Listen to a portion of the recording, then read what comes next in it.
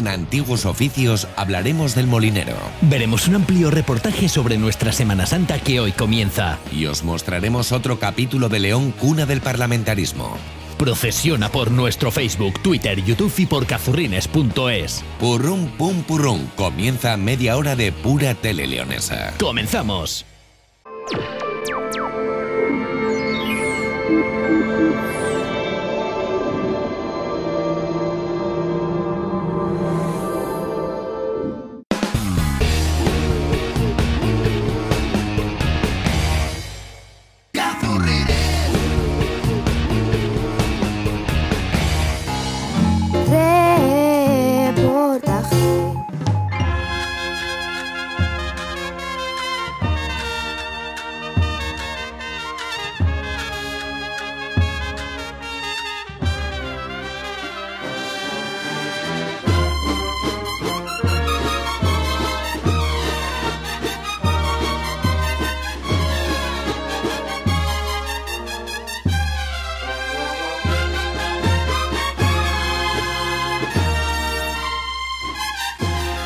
Semana Santa yo creo que tiene lo mejor que puede tener, lo mejor de León. Yo creo que esto es un sentir general de todo leonés, que digamos que es la, la, la fiesta por excelencia de León, ¿no? más que nuestro San Juan, Incluso yo me atrevería a decir que incluso más que Navidades. Bienvenido a casa, ¿eh? Gracias. ¿Eh? Por Navidad, no, por Semana Santa. Es una tradición, un, sentir muy profundo, muy hondo. Bueno, pues un año más con mucha ilusión por la Semana Santa. Para nosotros es un periodo muy importante. Semana Santa de León, la mejor Semana Santa de España. Es una maravilla que el que viene una vez a León yo creo que repite siempre que puede.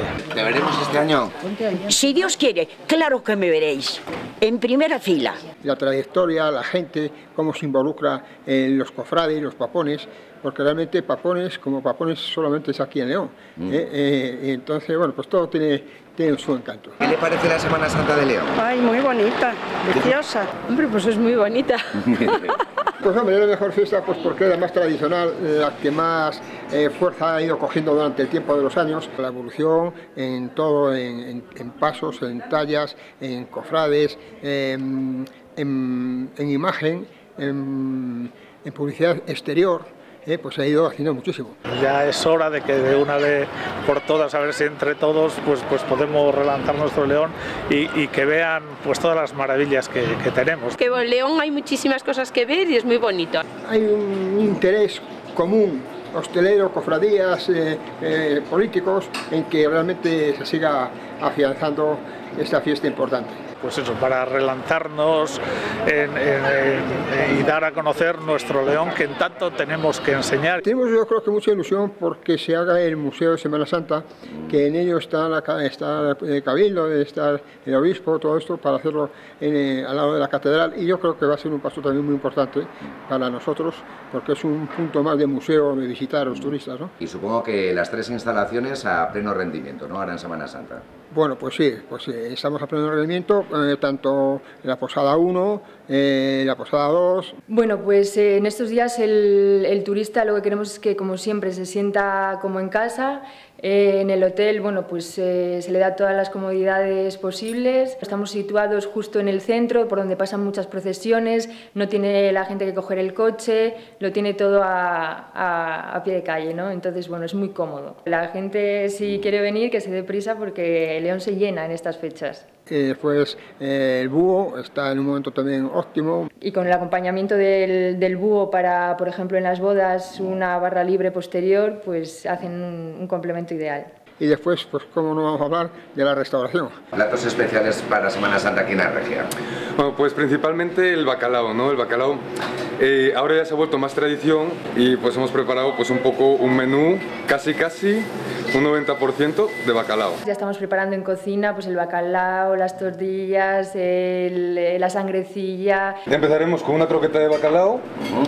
Seguiremos bueno, la típica sangrecilla, la sangrecilla no puede faltar, eh, un plato de cuchara que es eh, garbanzo, nuestro garbanzo de aquí de León, con espinacas y con bacalao también. Y vamos a terminar con un bacalao a la bodega, un clásico nuestro. Vamos a comenzar con una croqueta de bacalao. Nuestra croqueta clásica, lo que vamos a sustituir pues, ese huevo, ese jamón por el bacalao. Lo bueno que intentamos es intentar satisfacer todos los paladares, ¿no? Entonces, bueno, pues eh, vamos a tener estas croquetas, vamos a tener también las de siempre. Entonces, bueno, pues al que le guste una cosa, una cosa y al que le guste otra, otra. Bueno, pues ahora vamos eh, con la sangrecilla. La sangrecilla, bueno, pues también eh, acordándonos de mi abuelo, que la ponía pues en la Plaza San Martín en aquellos años como tapa pues para el vino, ¿no? Y siempre cuando más se remarcaba era en Semana Santa. Apuntaros a León Semana Santa y su buena gastronomía. En este caso pues hemos hecho un plato de cuchara, unos garbanzos con espinacas y unas lasquitas de bacalao. Si viene un poquito fresquita la Semana Santa, nos viene genial este plato, para calentar los estómagos. Bueno, en, Bodega Regia, además de la carta habitual, eh, tenemos para celebraciones varios salones, eh, uno hasta 30 personas más o menos, otro hasta unas 70-80 personas, eh, una sala pequeñita para unas 10 personas con el cubo de la muralla. Esta Semana Santa os esperamos en la Bodega Regia. Y bueno, nos adaptamos a lo que el cliente necesite, desde comidas o cenas de grupos, eh, bautizos, comuniones que vienen ahora muy, muy prontito ya, eh, bodas con encanto también. Bueno, pues eh, después de ese aperitivo de la croqueta de bacalao, esa sangrecilla de, nuestros antepasados, de mi abuelo, el plato de cuchara, ese garbanzo para entrar en calor y coger fuerzas, vamos a medio terminar con el clásico, que es nuestro bacalao a la bodega, dos tacos de bacalao, los cocemos al vapor a muy baja temperatura, lo cocinamos en una cazuela con dos huevos y lo metemos al horno con un poquito de pimentón. El pimentón que no falte en la cocina de León. Este es el clásico nuestro, el bacalao a la bodega, después lo preparamos al ajo arriero, también lo podemos preparar a la plancha con unas verduritas eh, a la plancha. Pues lo podemos rematar con la tradicional torrija. Siempre tradicional, siempre.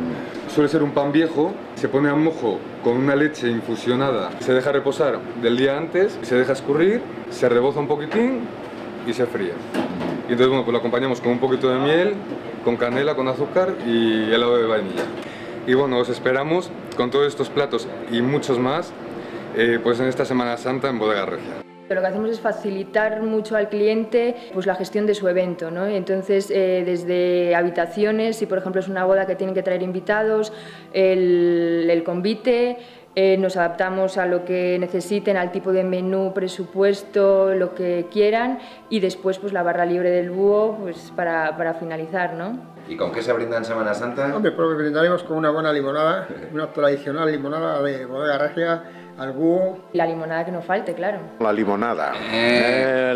Marcos, esta limonada la hacéis aquí, ¿no? Es- Bueno, pues sí, hay una limonada pues que bueno, pues es oficial, que, que hay que consumir, que es, es genérica para toda la hostelería, pero nosotros tradicionalmente llevamos todavía haciendo una cantidad de limonada con productos naturales y bueno, la seguimos manteniendo. Eh, de hecho, bueno, pues por eso la servimos con una jarra de gemines de jamón, que le da un toque tradicional. Esta Semana Santa, lo que coincide con jueves, viernes y sábado, estará abierto el búho durante todo el día, pues para poder ofrecer las raciones que tenemos y, como no, pues también eh, la, la típica limonada nuestra. Es una limonada que gusta mucho porque es dulce, no sabe mucho, mucho a vino. No lleva licores ni que adulteren el paladar, del limón natural, el exprimido, de la naranja, de la canela, eh, los higos, eh, entonces no tiene ningún producto más. Ha sido ganadora también de dos premios consecutivos en la Feria de la Limonada que se ha hecho estos últimos años y eso lo solemos acompañar con una tapa. Entonces, bueno, acompañado de una buena tapa como puede ser la sangre, pues ideal. Hoy viernes de Dolores, bueno, pues eh, ya comienza alguna procesión. Y acordaros los papones que el viernes, desde primera hora de la mañana, de mediodía, hasta por la noche, hasta que el cuerpo aguante, aquí estaremos para poder daros fuerzas para continuar toda la Semana Santa. Ya empieza el domingo y luego el lunes, el, el- el- ¿cómo se llama? El pregón de todas las cofradías y todo. Ya empieza desde ese día y todos, el jueves y el viernes es precioso. El desayuno de Viernes Santo, bueno, pues eh, ya llevamos varios años eh, en la tradición de eh, abrir el rincón del búho después, después del encuentro para tomar un chocolate con churros. En el búho el chocolate para el Viernes Santo. También hay gente que pide pues raciones típicas como pueden ser las croquetas nuestras caseras, la morcilla, tortillas, calamares, pues eh, daremos fuerzas para que la gente pueda continuar todo ese Viernes Santo, que es bastante largo, con la procesión más importante que tenemos del dulce nombre de Jesús Nazareno. Bueno amigos, pues os esperamos esta primavera-verano en la Posada Regia, la Bodega Regia y el Rincón del Búho.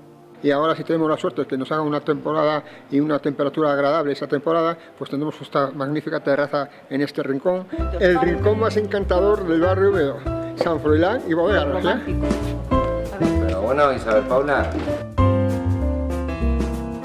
La vecina de la regia.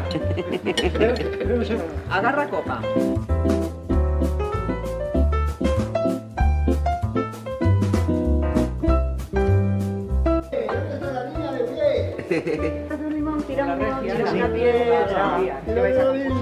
Por la Semana Santa de León. Por la Semana Santa por la Semana Santa de León, La Regia y San Froilán. Rincón del Búho y San Froilán, os deseamos una feliz Semana Santa. Tiene tela. ¿Qué supone la Semana Santa para León? Pues una ocasión tremenda. Mm, personalmente, para la gente que tenga fe y que le gusta, es la ocasión, los aficionados fíjate que están tocando y, después para el turismo muchísimo. A mí me parece que cada vez más. Yo también digo que no sé si la crisis da dado por la devoción, porque hay más papones, más cofradías, después cada uno busca su color específico, que si no lo tenemos lo buscamos. Y este comercio es lo mejor de León. ¿Qué quieres que te cante limeño? Tenemos terciopelo de algodón de todas las cofradías. Tenemos cuatro granates distintos, negros distintos, verde con perdón hemos conseguido el azul, es que no sé cómo se llama la cofradía, esa que todo el mundo llamamos los pitufos. Mm que nos ha costado Dios ayuda a encontrar el color azul determinado, pero bueno, ahora ya lo tenemos encontrado para siempre. Aquí lo bueno es que el jefe de la cofradía venga y dice, consígueme para siempre este, este color. Y entonces, si nos dicen que los tenemos para elegir, yo qué sé, 60 colores. Y es que tiene mercancía muy buena, ¿sabes? Yo siempre digo a la gente, a ver, me da lo mismo que me caáis a comprarlo aquí, a comprarlo en la tienda que queráis, pero sería genial que fueseis mm, todos del mismo color y no como cromos. tiene lo más moderno. Estudio diseño de moda y vaya, tienen a todo el mundo de Burgos siempre se lo recomiendo porque allí, por ejemplo, no tienen telas que tienen aquí en León. Y además la atención que tienen aquí el staff. Lo mejor. A todo el mundo se lo recomiendo, San Froilán. Yo estoy agradecidísima. Y este año, como novedad, tenemos mantillas hechas, que también las hemos conseguido más baratas que nadie. Y una cosa muy importante, palmas. ¿Cómo se llaman? Palmas o palmeras, lo que llevan los niños, los mayores, también. Os tendremos, tendremos, que traer una palmera para poner una palma para ponerla ahí y mm, para variar más baratas que nadie. Bastante económica, sí señor. Para la altura que tiene está muy bien de precio. hemos pedido tropecientas y así conseguimos que todo el mundo vaya bien y más barato. Bueno, pues para todo el mundo que nos visite en León, a todos una feliz Semana Santa, los leoneses, los que no son de León, los del extranjero. Bueno, pues nada, decir únicamente que todos los que vengan que sean bienvenidos, que en León que se encuentren bien, haremos todo lo posible que se encuentren como en casa o mejor y que pasen una feliz Semana Santa. Que disfrutéis mucho, que paséis una feliz Semana Santa. Que paséis una feliz Semana Santa. Que paséis una feliz Semana Santa y en Málaga también. Bueno, pues solamente tenemos que desear de que vengáis mm, todos los turistas, todos los leoneses, que paséis por la bodega regia, por la posada regia, por el búho y que en conjunto una, tengamos todos una feliz Semana Santa eh, que repercute para todas las personas y para toda la ciudad.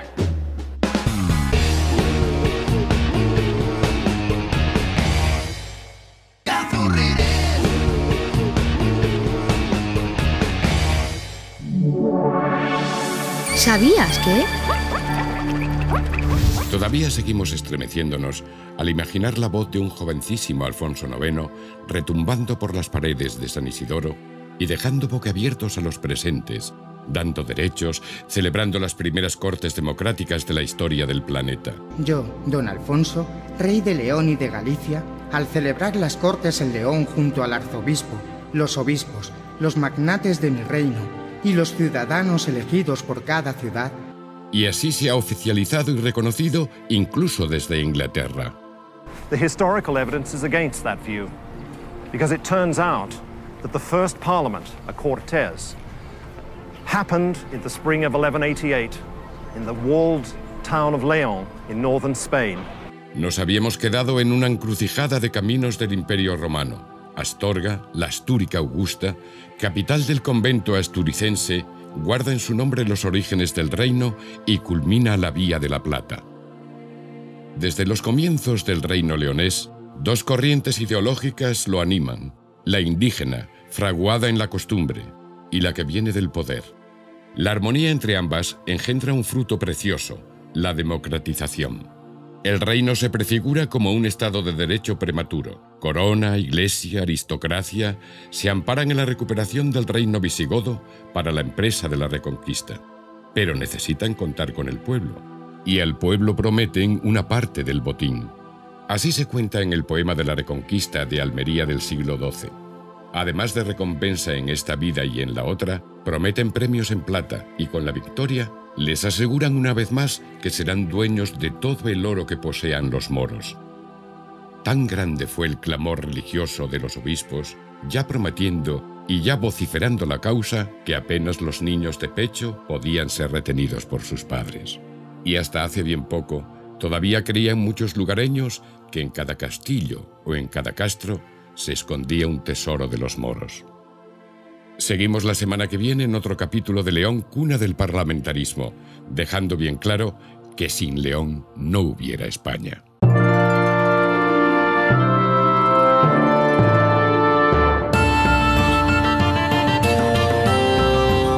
Lo que fuimos y no somos. Con José Ajenjo.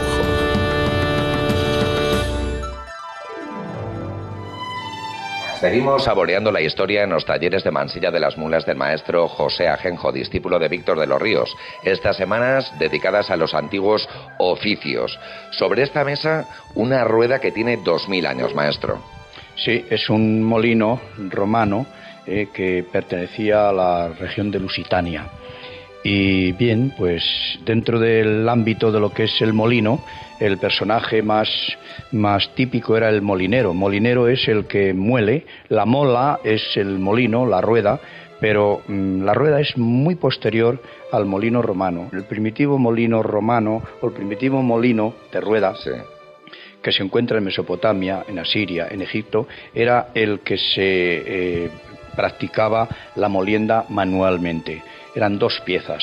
Una que era la parte inferior, esta, que iba sujeta en el centro por una especie de metal con una clavija, y luego el que giraba, que era el de la parte superior, por donde discurría el mijo, el grano o el trigo, lo que fuera, y así va produciendo la molienda el, lo que era el resultado, la harina o, la, trituración de aquella legumbre o aquella leguminosa que introducían en el ámbito del molino. Bueno, en León hay zona de, molinos, pero son estos a los que nos estamos refiriendo? No, estos ya son posteriores. En el medievo, ya después de cuando comienzan los feudos y demás a repartirse la tierra, hay que pensar que en la zona del Bernesga, por ejemplo, pues teníamos registrados 15 o 20 molinos que pertenecían unos a la, a la clerecía, a la iglesia, otros a alguna familia noble.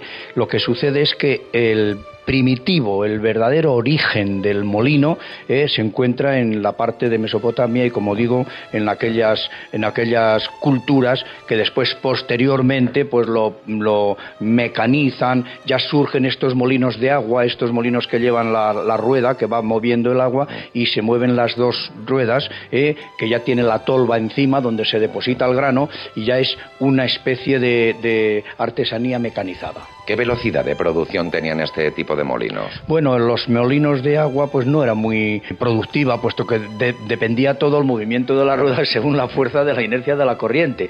Entonces, eh, había molinos que molían a lo mejor pues 10 o 15 o 20 sacos al día y otros que ya posteriormente, últimamente, ya cuando se mecaniza y ya cuando la, la, la fuerza del agua o incluso motores que ponían a las, a las ruedas, pues era una producción mucho más amplia, llegando a moler incluso algunas veces hasta 30 y 40 sacos diarios.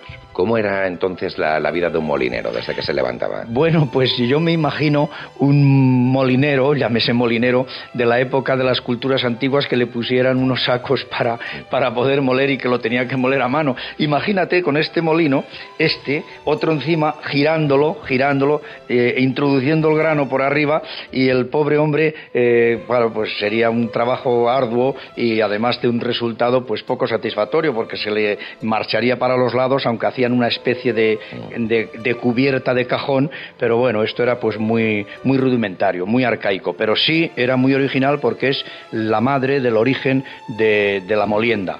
Interesante vida la del molinero, como la del alfarero, el herrero y de todos los que estamos hablando en lo que fuimos y no somos en esta serie de capítulos de la historia de León dedicadas a los antiguos oficios. La semana que viene, uno nuevo.